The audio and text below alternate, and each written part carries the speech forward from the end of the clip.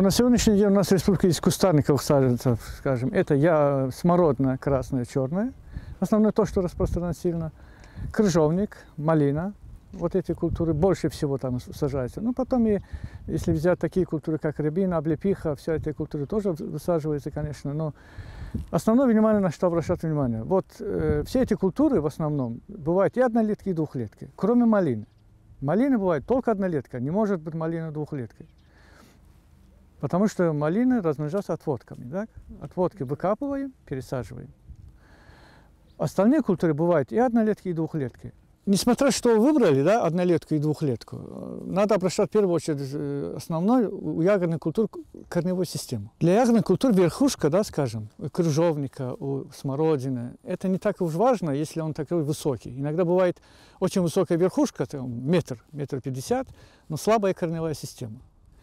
Все равно все эти кусты, э, скажем, кустарниковые, да, малина, э, смородина, крыжовник, потом ежевика – эти культуры, когда мы сажаем, их все равно укорачиваем, срезаем. Посадили смородину. После посадки мы обязательно должен обрезать эту смородину. Иногда многие думают, что посадив двухлетку, в этом же году получают ягоду. Это ошибочное мнение. Почему? Потому что, да, вы можете получить, скажем, 100 грамм с этого куста, но вот эти же 100 грамм у вас будут еще в течение 3-4 лет. Почему? Потому что куст слабо будет развиваться.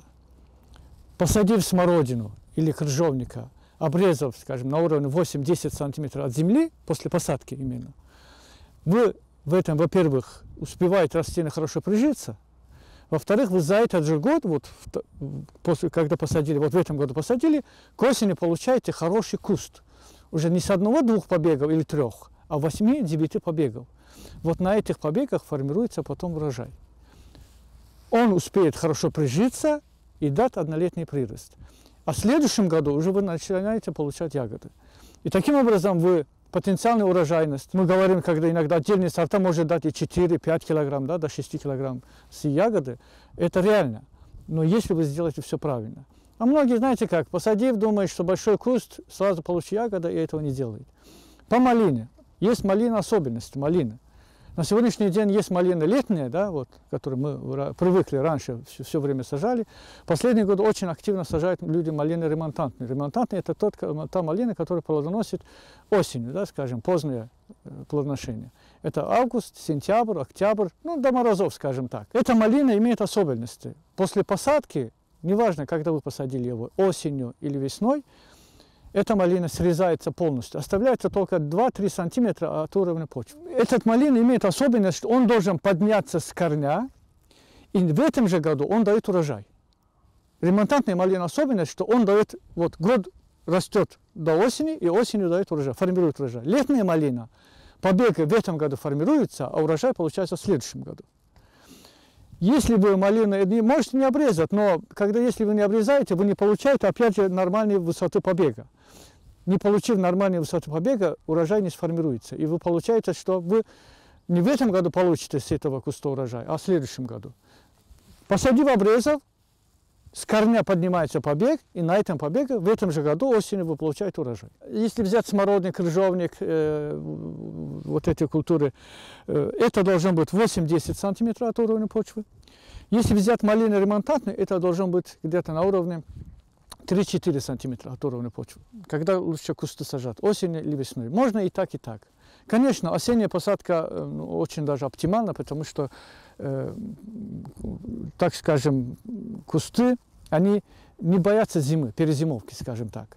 Поэтому, посадив осенью, уже вы можете мощный куст получить за год. Весенняя посадка тоже, скажем, приемлема, оптимальна, и тоже к осени получите. Конечно, а, она будет отличаться от осенней посадки немножко, но не так сильно.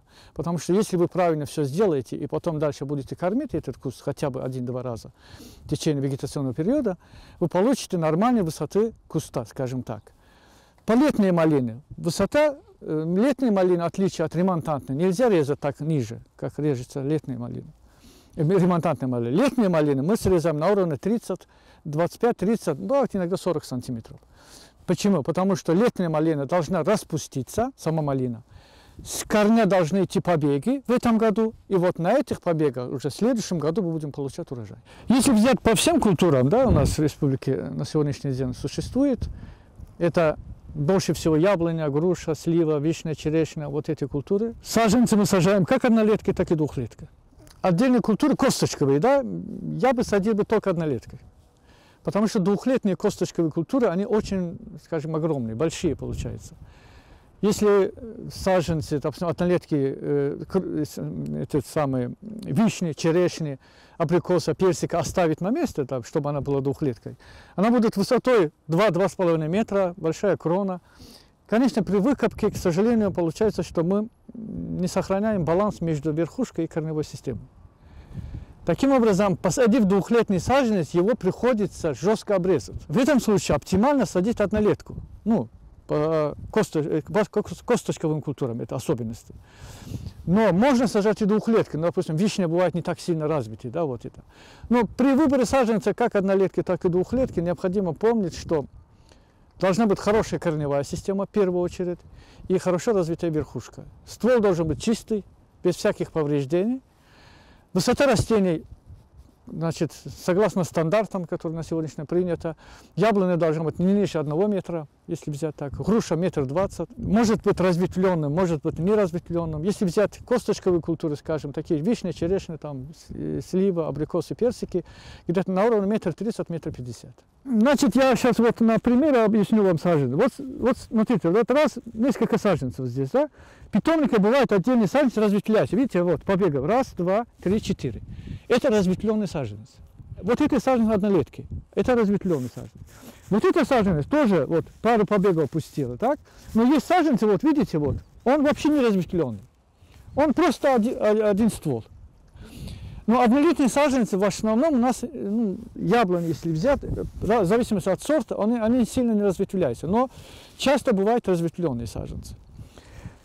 Да, очень хорошо посадить уже разветвленные саженцы, когда, видите, вот у боковых побегов, да, заканчивается цветковым почкам уже.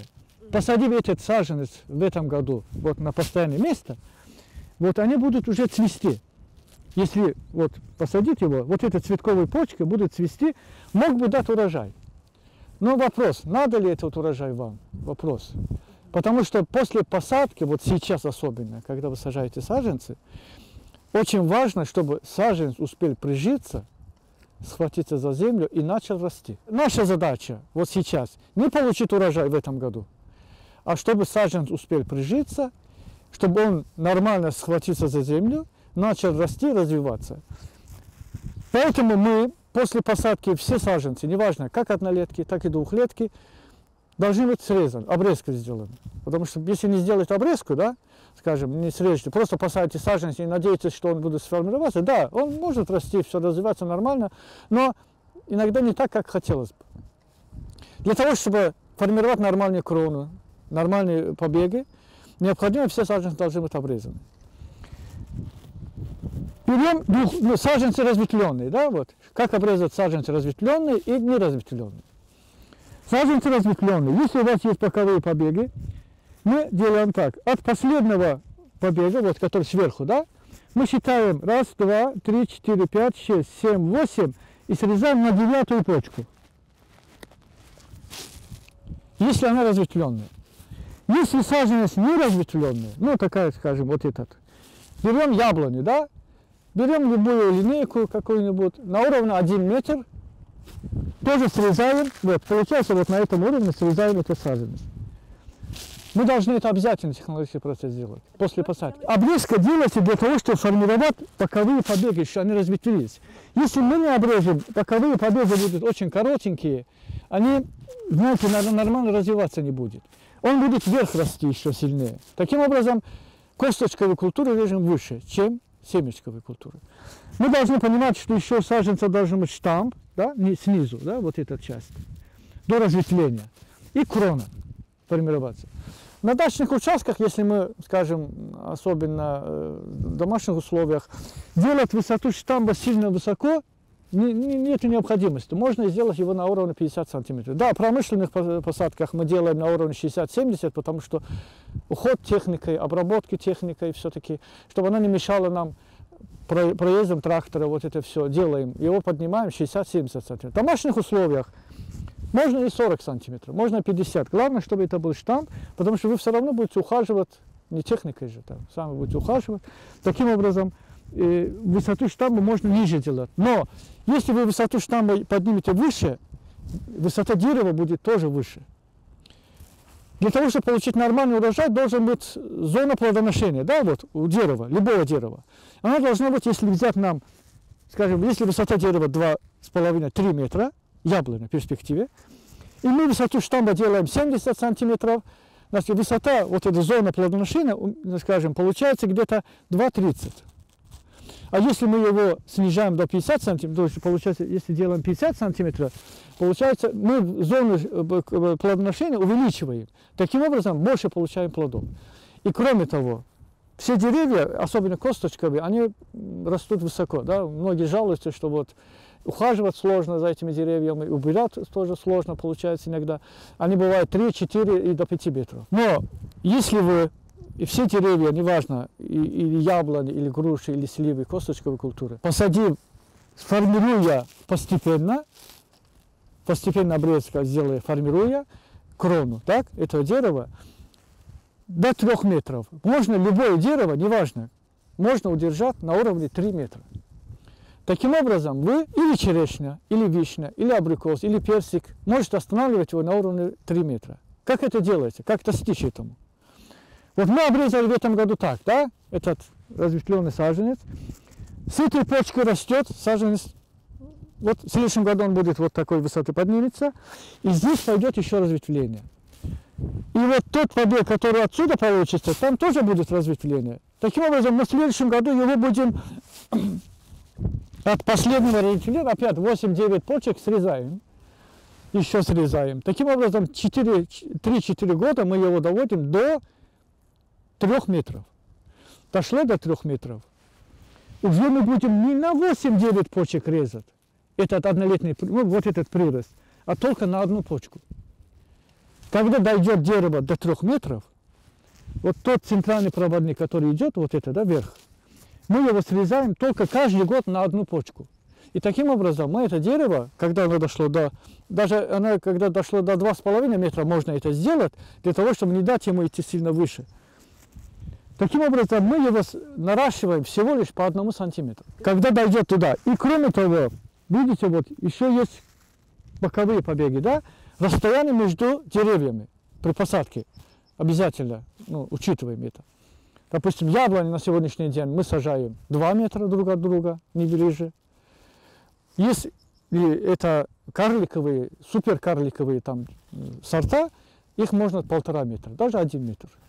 Это уже надо при покупке уточнять, это, на что привита дичка. Если берем грушу, если берем грушу, да, мы сажаем 3 метра друг от друга, потому что груша сильно растет, чем яблони. Если берем вишню, черешню, все абрикосы, персики тоже 3 метра. Если дать им еще чуть расстояние больше, это тоже хорошо, в принципе, потому что все косточковые культуры любят больше солнца. И при посадке участка э, вашей культуры надо понимать, что вот, прежде чем вообще начинать что-то садить, вы должны спланировать это. Вот с этого надо начинать вообще-то. Почему? Потому что все культуры, да, которые вы хотите садить, и яблони, и груши, и сливы, и вишни, черешни, они по-разному растут. Если вы посадите, то, так скажем, без плана, да, получится одни культуры, потом затеняют будут ваши второй, скажем. Яблони у вас слаборослый, вишни, черешня высокорослые. Если вы посадите так, чтобы э, в сторону солнца посадите черешню, допустим, а, а э, против посадите яблони, получается, ваши черешни будут затенять вашу яблоню. Надо учитывать, как у вас солнце вращается. Таким образом, в зависимости от, от высоты деревьев, ну, как они по высоте растут, в перспективе вы должны их садить, чтобы в первую очередь сажаются к солнцу низкорослые деревья по наращиванию, скажем. Сначала яблони, условно говоря, так взять, можно потом грушу, потом можно, можно потом даже вишню, потому что вишня не так сильно растет. Потом грушу, потом черешню, абрикосы и персики.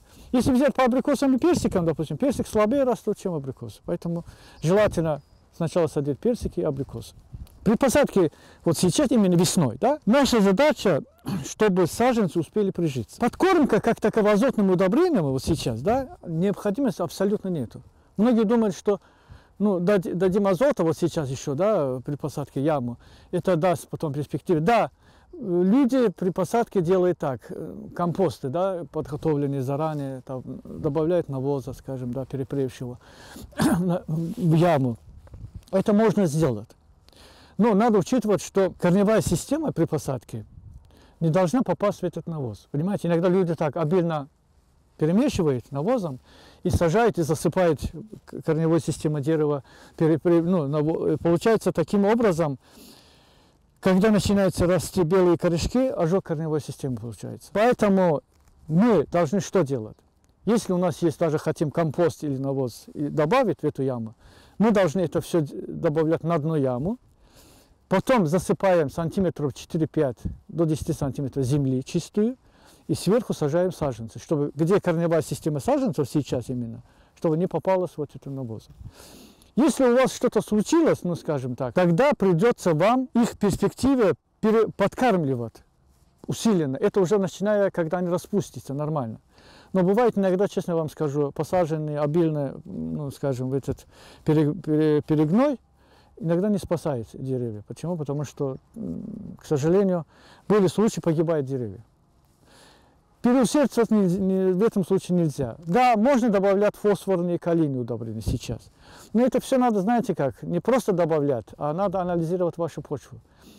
Честно вам скажу, вот мы в многих местах анализировали, да, в республике, у нас, в принципе, в почвах хватает и фосфора, и калия, достаточного количества. Да, его бывает иногда усвояемая форма, ну, то есть растение, может ли растение взять его с земли, это да. Все удобрения, которые выпускаются, они быстро усваиваются растением. Вы внесли, они хорошо усваиваются. Тот калий, фосфор иногда бывает в почве, они усваиваются очень медленно, скажем так. Очень плохо растение, потому что растение брать его практически иногда очень у вас обильно, да, много калия, фосфора, когда по анализам мы видим. Но растение его брать не может. Почему? Потому что это трудно усваиваемые формы.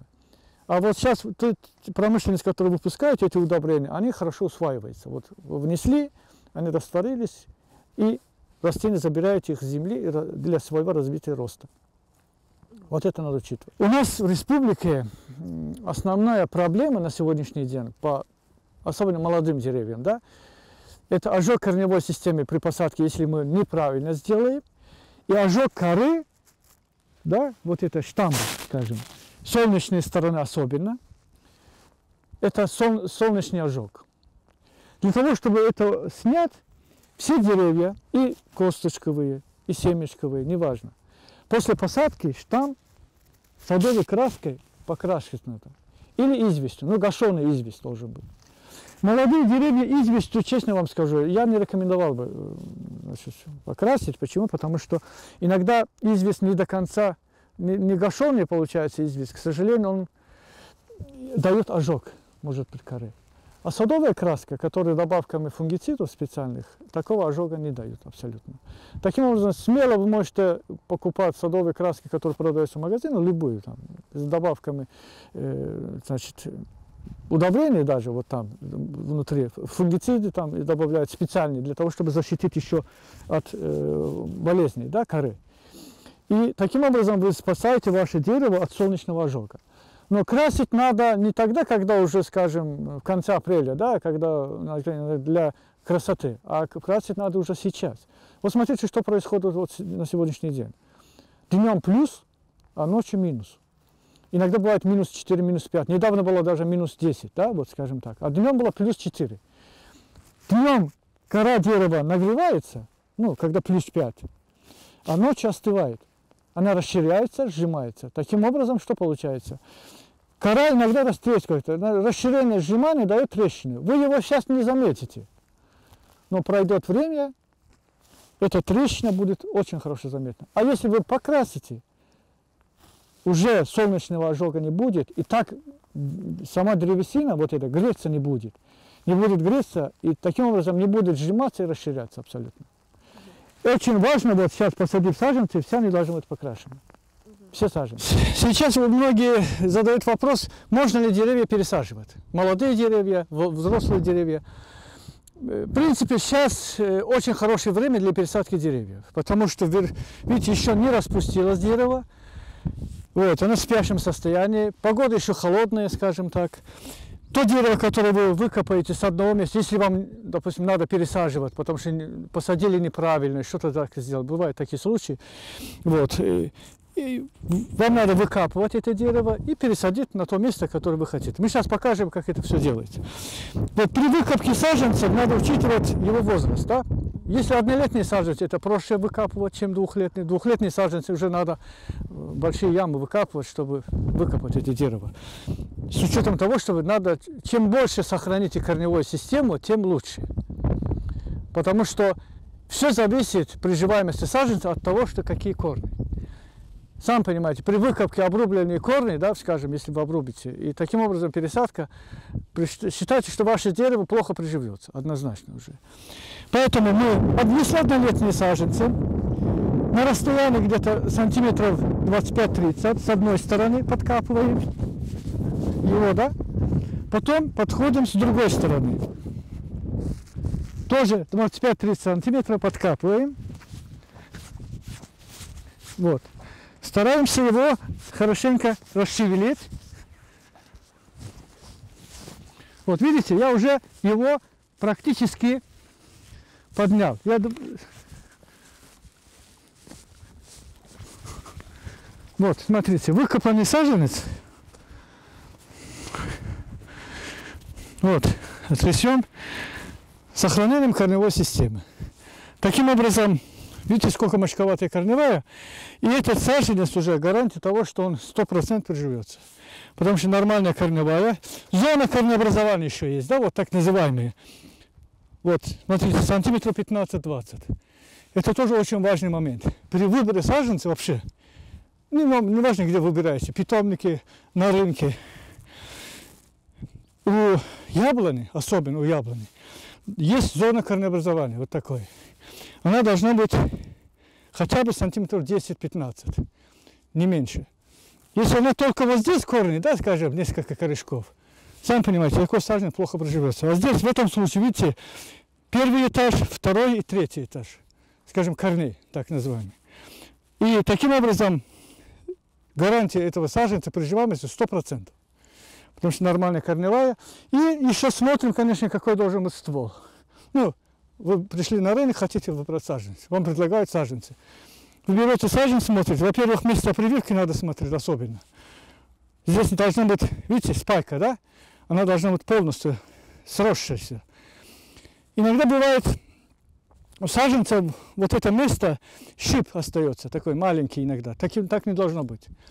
Должен быть без шипа. Вот нормальный срез, он должен быть сросшийся, вот, посмотрели, потом посмотрели на ствол в чистом состоянии.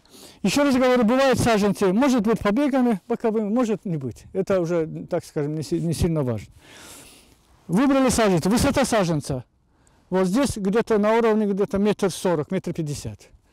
Он должен быть не, не ниже одного метра.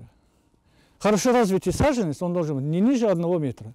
Вот если есть один метр саженца, можно уже приобрести его посадить, потому что на одном метре вы обрежете его. Ниже саженцы, получается диаметр ствола, да, еще, видите, вот этот, вот если взять толщину вот этого ствола, он должен быть не ниже одного сантиметра, не меньше. Если меньше одного сантиметра, сам понимаете, это саженец уже, скажем, нестандартный. Такой саженца получить первый год нормальной кроны невозможно практически. На что надо обращать еще раз внимание? На корневую систему нормальная должна быть, место срастания, прививки. И прививка она должна быть. Иногда бывает так, знаете как, иногда, когда мы срезаем, э, сама дикая э, дичка похожа на культурный сорт. Он, получается, места прививки нет, просто его срезали, и бывает иногда такие, к сожалению, продавцы бывают иногда такие, которые срезали, просто и продают. Надо посмотреть, она должна быть место вот, прививки, ствол должен быть нормально развитый, и высота саженца должна быть не, ниже одного, не меньше одного метра. И толщина должна быть не меньше одного сантиметра. Все. Вот все, что необходимо понять. Вот вы купили саженец или выкопали его, да? Сейчас его надо пересадка вот этого саженца на то место, которое вы хотите. Или вы купили саженец, привезли домой, да, вы хотите. После покупки вот этот саженец, во-первых, э, надо понимать, что когда человек едет за покупками саженцев, он должен с собой брать какие-нибудь мешки, там, пакеты, я не знаю, что-нибудь. Да, все продавцы на сегодняшний день предлагают упаковывать э, корневую систему. Если открытая корневая система продается саженцы, они должны после того, как вы выбрали их, упакованы, в это, пока доставите до дома. Какие-то целлофановые пакеты, мешки должны быть.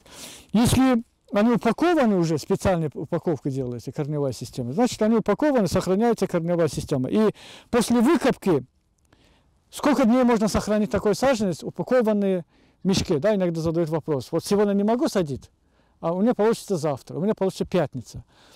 Конечно, желательно приобрести 2-3 дня вперед, да, не, не, не больше. Ну, если вы, допустим, планируете купить саженец в понедельник, а посадить в пятницу, его надо временно прикопать. Что такое временная прикопка саженцев?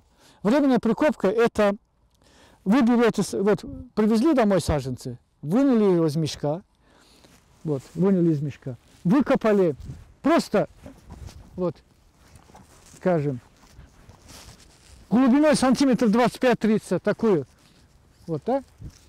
Положили саженец и засыпали корневую систему. Все. Прикопали временно. Это заняло у вас сколько времени? Это 2-3 минуты. Недолго, да? Но таким образом вы сохранили саженность Можете садить и пятницу, можете следующей неделе. Это не проблема. Но именно вот так сделайте.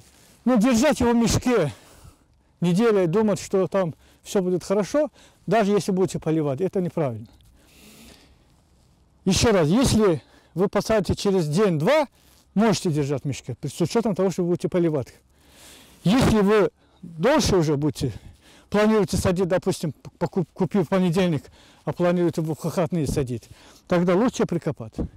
Или, если у вас не получается на участке прикопать, эти саженцы, берется простое пластмассовое ведро или какой-нибудь тара, ставится саженец, туда засыпаются опилки, торф, я не знаю, там, любой субстрат. И таким образом в этом субстрате можно держать саженцы, балконы. Иногда бывает, люди ну, купили саженцы, они в городе живут, там ехать еще им на даче там далековато. У любого человека есть ведро, простое пластмассовое ведро. Поставили саженцы, засыпали корневой опильками там, или какой-нибудь землей, или субстратом каким-нибудь, я не знаю, торфом. И таким образом держите балконы, эти саженцы ход недели. Две. Просто полили, подержали там. Когда поедете на дачу, и возьмете и посадите эти саженцы. Еще вопрос, как правильно садить саженцы. Да? Вот выкопать ямы, там, скажем, подготовить, и как это все правильно делается. Для того, чтобы прежде чем э, посадить саженец, вам, вы должны понимать, что кроме самого саженца должно быть колышко обязательно, временное. Колышко, бывает иногда временные колышки, бывают постоянные. Если саженцы, деревья вы покупаете карликовые, низкорослые, да, им нужна постоянная опора. Это уже должна быть какая-нибудь высотой не меньше 2,5-3 метра, такие столбы, диаметром где-то сантиметров 7-8 до 10 сантиметров. Если вы купили на полукарликовых такие саженцы, скажем, косточковые культуры все, они, для них нужна временная опора. Временная опора на 2-3 года. Потом вы его просто убираете. Это может быть любая рейка такая, скажем, 4 на 4, 3 на 3, 5 на 5. Пилорамы там, ну, то есть это может быть бамбук люди покупают, иногда ставят. Можно, можно какие-то использовать, э, скажем, э, обрезки даже вот. Но основная задача этого колышка, он должен удержать саженец от раскачивания. Почему подвязывается саженцы к колышкам? Многие говорят, я могу просто посадить, и зачем мне это ну, колышко еще э, привязывать? Все саженцы после посадки, когда появляется лист, листовой аппарат уже нормальный, да, а у нас последний год очень сильные ветры. Получается, растение раскачивается. При раскачивании растения обрываются корневая система. И вот он раскачался в одну сторону, оборвалась, белые корешки, которые схватили за землю, обрываются. Получается, раскачивая верхушка, да, саженца, и повреждается корневая. Таким образом, ваш саженец, он вроде бы прижился нормально, но если вы его не подвязали и его крепко не держится, он, получается, раскачивая в одну и другую сторону, корневая система повреждается. Второе, иногда бывает, деревья от сильных ветров наклоняются, и придя к осени, вы увидите, что саженец уже чуть-чуть наклоном растет. Таким образом, выровнять этот саженец уже невозможно. Ну, возможно, конечно, вы опять повредите корневую систему. Чтобы уйти от этих проблем, просто вот сейчас заготовили колышко, колышко должна быть метр тридцать, метр пятьдесят, 20-30 сантиметров уходит в землю, а метр, где-то метр двадцать остается сверху. И таким образом, чтобы подвязать саженец в двух местах. Сейчас мы это все покажем. Значит, у нас есть саженец, вот у нас есть колышко, да, вот. Вот река, простая река, которую заготовили заранее. Вот где-то где, -то, на уровне метр тридцать его. Получается 30 сантиметров мы заглубим землю при посадке, а метр останется сверху. Тут сантиметров три.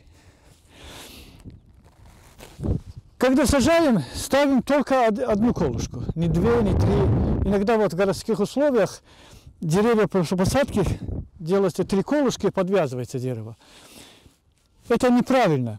Почему? Потому что, может быть, в городских условиях правильно, потому что город защищается от ветров, а на полевых условиях, вот видите сегодня какой ветер сильный, это неправильно. Должна быть только одна колышко, и эта колышко должна ставиться с южной стороны дерева как опять же вращается Солнце. Давайте мы сейчас начнем копать яму, да? Сначала начнем от того, что какую яму надо копать. Прежде чем копать яму, мы должны определить место, где будем сажать. Как я говорил, уже надо учитывать по росту, да, скажем. С солнечной стороны должны быть низкорослые деревья, дальше высокорослые. То, то есть друг друга, чтобы не затеняли. Выбрали место, направление. Если вы сажаете рядами, ну, скажем, бывает иногда человек берет 20 деревьев, 30 деревьев, ряды направления делает. Направление рядов должен быть с севера на юг. Если вы сажаете отдельные деревья, это уже не важно, как вы сажаете. Таким образом, выбрали место, где в этот самый, так? Забиваем эту колышку, которую мы заготовили заранее, где будет наше дерево. Вокруг этого колышка берем сантиметров, значит, диаметр ямы для основных культур, скажем, плодовых, должен быть 60 сантиметров. Глубина 50 сантиметров. Поэтому забивая колышко, мы должны 300 сантиметров с одной стороны. Сначала делаем как бы его вот такую вот. Будто вот так наметили, где будет яма. Убрали колышку, начинаем копать. Надо учитывать, что у нас в республике основные земли это зерново-подзолистые. Получается пахотный горизонт 25-30 сантиметров. Это хорошая земля, верхний слой. Мы его копаем отдельно. Вот, одну сторону бросаем его, только выкапывая. Видите, уже нижний слой подзолистый выходит. Вот сейчас я вам покажу.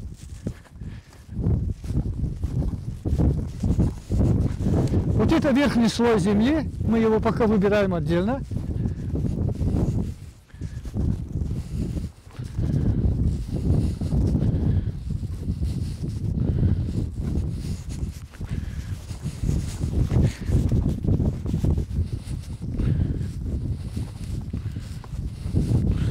Все, нижний, уже видите, серая, желтая почва идет.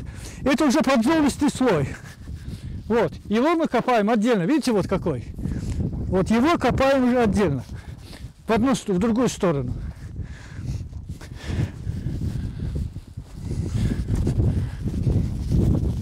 Все. Глубина 50 сантиметров. Значит, вот эту землю мы для посадки использовать не будем.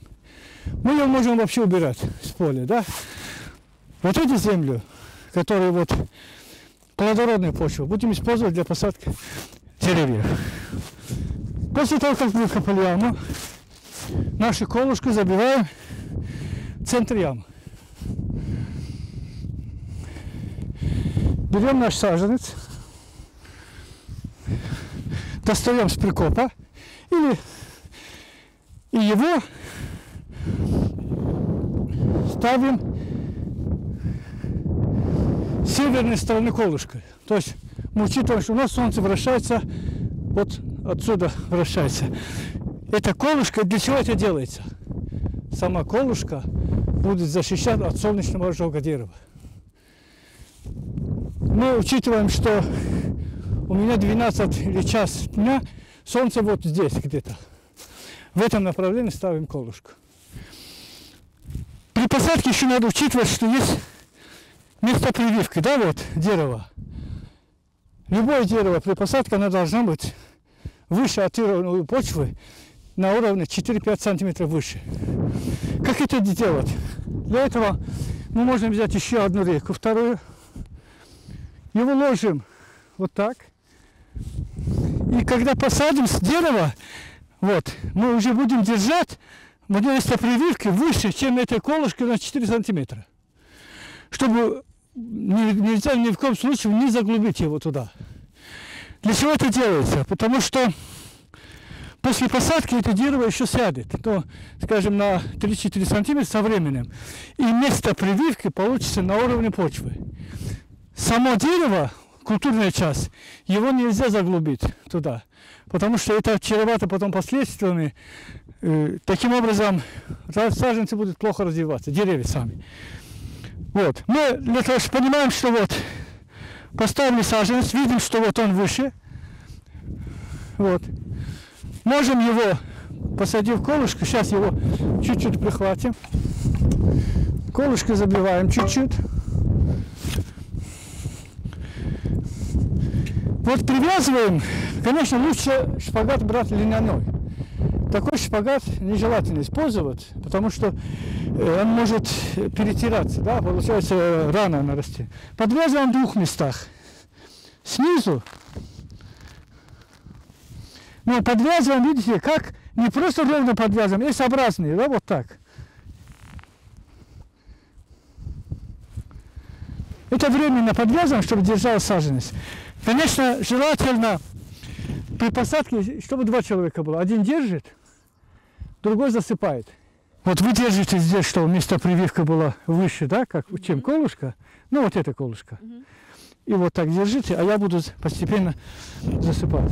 Значит, что мы делаем? Вот эта часть земли, которая у нас хорошая, да, можем добавить удобрения, там, фосфор, калий, все это перемешать. И постепенно засыпаем нашу яму.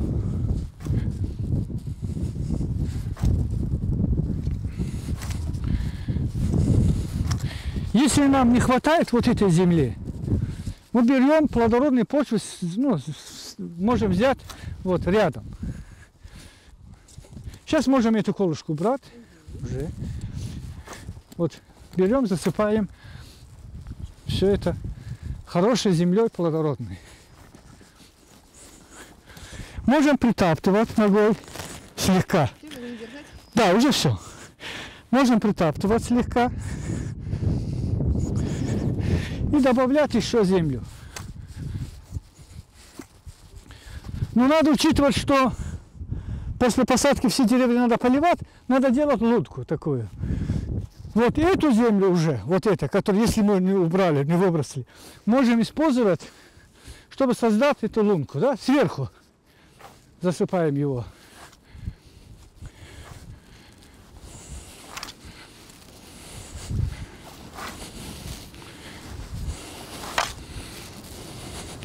Вот так его немножко уплотняя.